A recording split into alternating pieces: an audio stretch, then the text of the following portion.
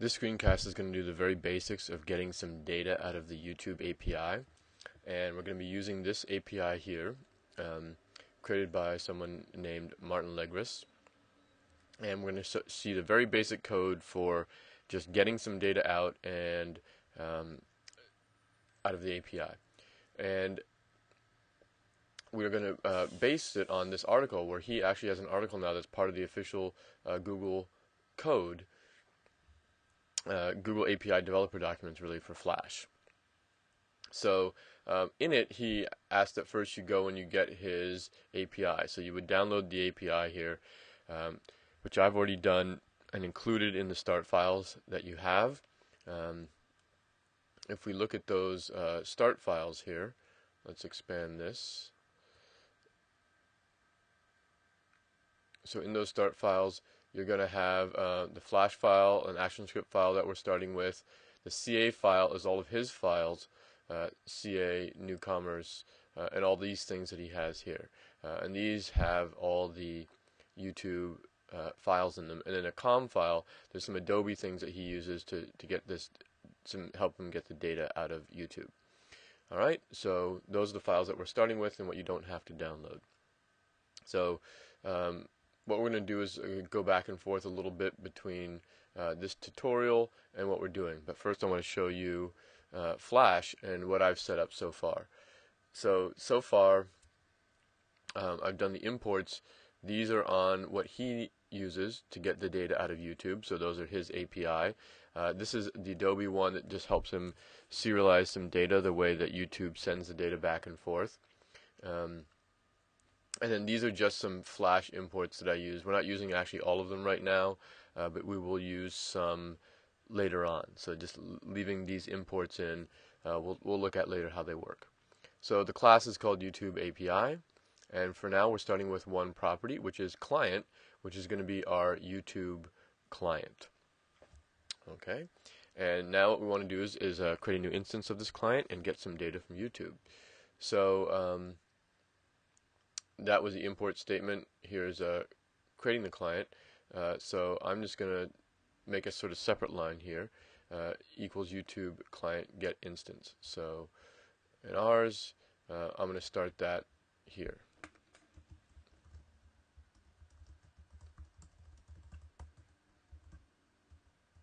So our client equals YouTube client get instance. All right, and we usually, you know, when I'm doing stuff like that, especially when I'm importing a lot of different um, classes, I just run it and make sure I don't get any errors. Oh yeah, I forgot to uh, mention in Flash, it's basically a blank screen, but it has these two items in it. It's a text field, and this is a data grid property. Um, and a data grid is what we're going to use to display our data eventually in there. But for now, we're just going to trace it out and make sure we can. So we got our instance. Uh, now let's look at the, the next step in it.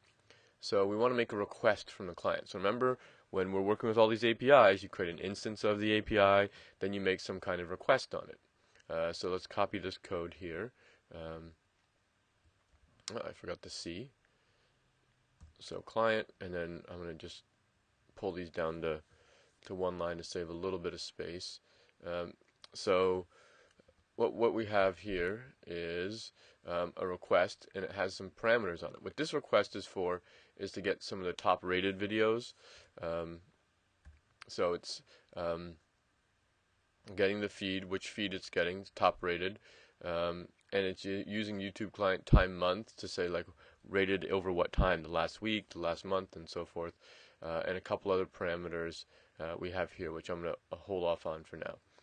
So that's going to uh, do the get standard feed. Now that's fine, it'll run, uh, we're not going to have any errors necessarily, um, but um, there's, uh, right now we get this standard feed loaded, uh, but we need to uh, have an actual handler to trace that out.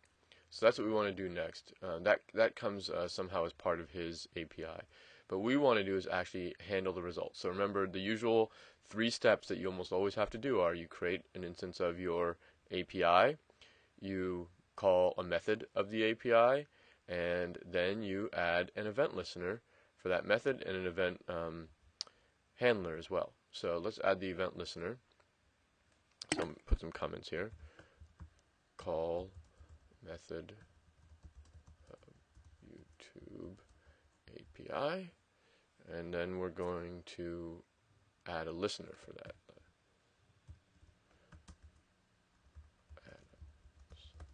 For the get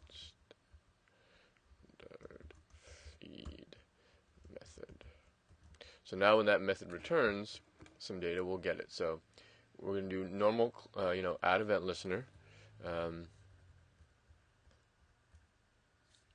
uh, oops, keep the comment in there.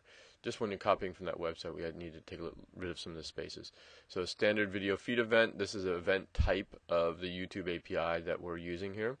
Uh, standard video data received, so that's when the data received, and we're going to call a method uh, do videos received.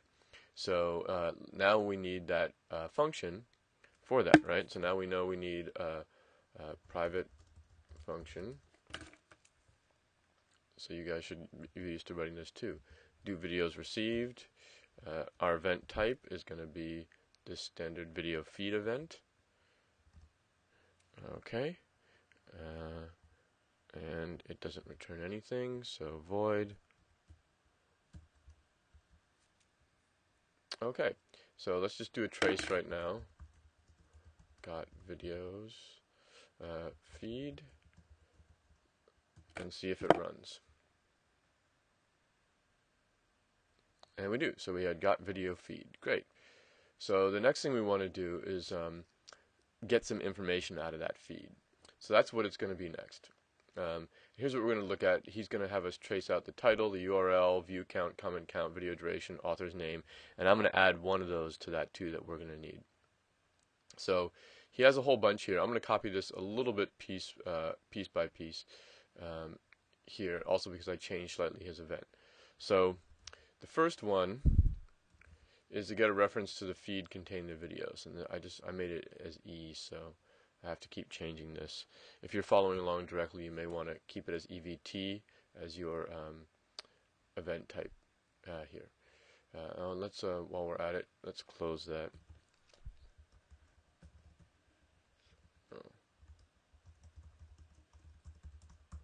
Okay. Um,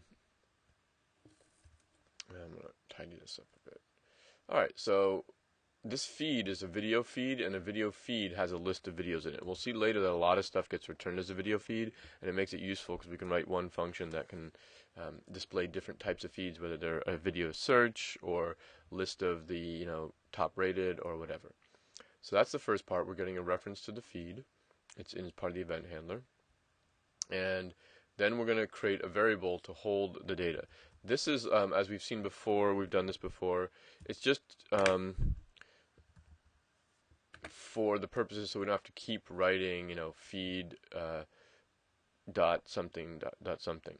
So, um, and also we'll see here, the way he's set it up, he has a special way of looping through his very his data.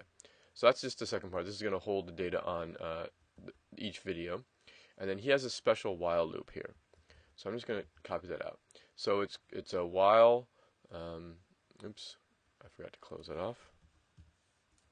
All right, so um, while video equals feed next. the, the feed has a next method that just gets the next video in the feed and and and moves on. So you can set up this while loop um, that works on his video feed uh, data type. Remember, this is created by him, Martin Legris uh, and it will loop through them all. And I'm just going to do a simple trace here, and then we'll run through and do something more. So trace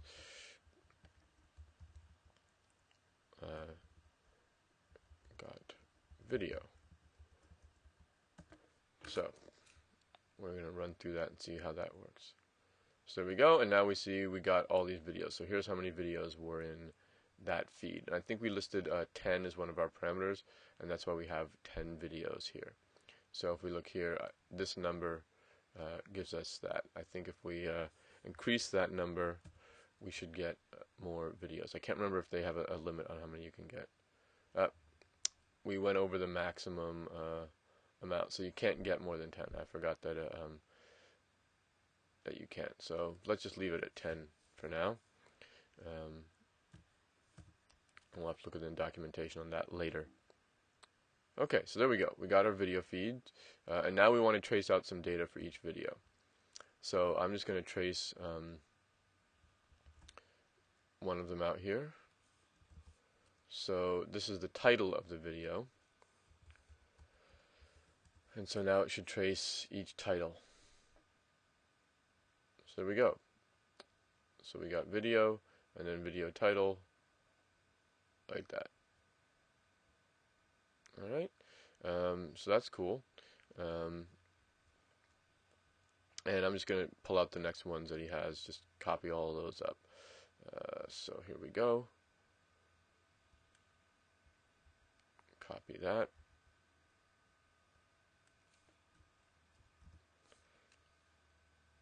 And whoops, this trace didn't get a, two comments on it. There we go.